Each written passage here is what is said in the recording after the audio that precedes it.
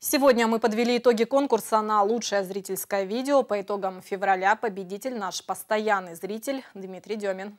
Благодарю вас за победу и за участие в нашей программе. За свой видеоролик Дмитрий получает от нашей программы сладкие и денежные призы. В феврале он стал очевидцем, как сотрудница одного из торговых центров задержали мужчину, который пытался ограбить ломбард. Происходящее Дмитрий заснял на камеру мобильного телефона. В тот же вечер он отправил кадры на почту программы. Увидел гражданина сидевшего на полу, связанного.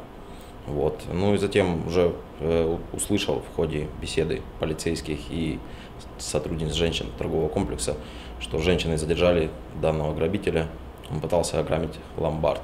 У женщин было человек 7, наверное, 8 там. Все женщины, что были в торговом комплексе со всех отделов, все собрались и дружно задержали его. Как установили в полиции, злоумышленник 40-летний Амич. Деньги ему нужны на дозу. В момент совершения преступления мужчина находился в федеральном розыске. Ранее он неоднократно был судим за квартирные кражи и незаконное хранение наркотиков. За разбойное нападение на ломбард налетчик предстанет перед судом в конце марта. В результате следственных мероприятий полицейскими установлено, что 40-летний житель Кировского округа проник в помещение павильона ломбарда, выбив закрытую дверь ногой.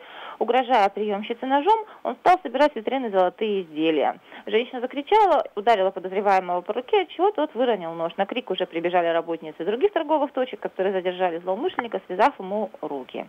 Мы продолжаем принимать ваши материалы на электронную почту жестсобака.антенна7.ру. Не забывайте в письме указывать свой номер контактного телефона. В конце месяца за самую интересную новость мы заплатим.